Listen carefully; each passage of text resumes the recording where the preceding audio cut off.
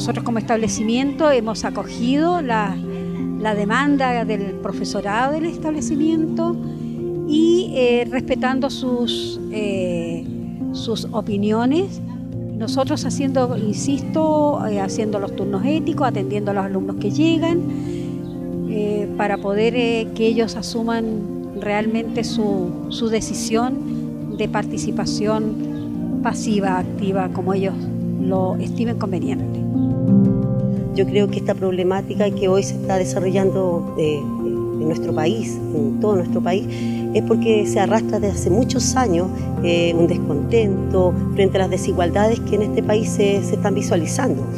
Entonces, claramente uno es parte de este movimiento, uno se siente que realmente eh, la gente está descontenta, a lo mejor con una nueva constitución, que es lo más importante, eh, se puedan hacer los cambios que realmente nuestro país necesita para que exista mayor igualdad. Y mi postura frente a la contingencia nacional que estamos viviendo es clara, eh, apoyo el movimiento. No es por 30 pesos, son 30 años. Eh, y considero que no, no, esto tiene que parar, tiene que cambiar para mí, para mis futuros hijos, para mi familia, para mis futuros colegas. Así es que mi mensaje es ese, a, a luchar por lo que tú crees que es justo para ti, para tu familia, para tu futuro. En primer lugar, quiero decir que dar gracias a los jóvenes de este país que se atrevieron a dar ese paso eh, yo como profesora de este colegio me manifiesto todo lo que puedo y nosotros como pueblo tenemos nuestra lucha, nuestros gritos, nuestra marcha y adelante con esa lucha porque de verdad que creo que por primera vez Chile despertó.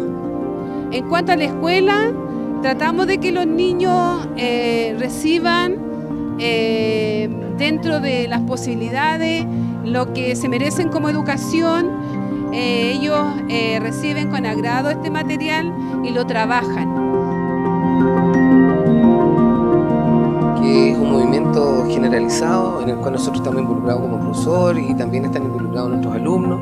Nosotros también somos los formadores de nuestros alumnos y nosotros lo que queremos también en el fondo es que ellos tengan la libertad y tengan los mismos derechos que tienen todos los alumnos de todas las comunas y nosotros encontramos que es fundamental para eso también apoyar en todas estas movilizaciones y exigir en el fondo que por fin ellos tengan toda la libertad y, tener la libertad tiene que ver también con tener igualdad en cuanto a, que todos tengan una educación justa, a que no exista una diferencia entre una educación pública y una educación privada.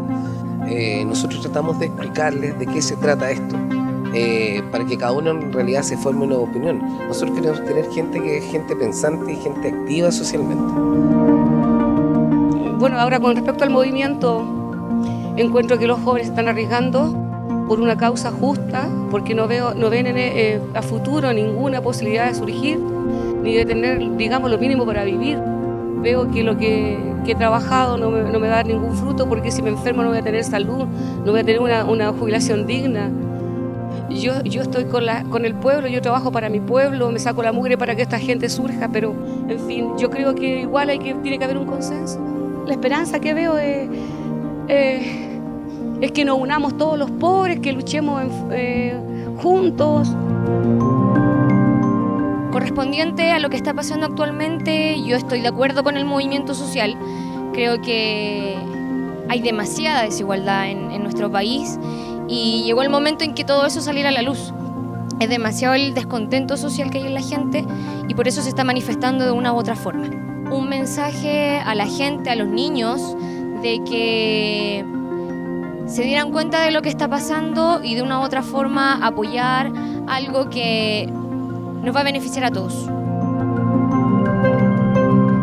Con respecto a las manifestaciones que están ocurriendo ahora en Chile, estoy de acuerdo eh, estoy de acuerdo que Chile haya despertado y que comience a luchar por las cosas con las que no estamos de acuerdo, que se acabe la desigualdad que, existe ahora, que, que, se cambie la constitución y que en lo posible eh, vuelva la paz a nuestro país, que vuelva la paz a nuestras escuelas y podamos seguir educando como lo hemos hecho siempre.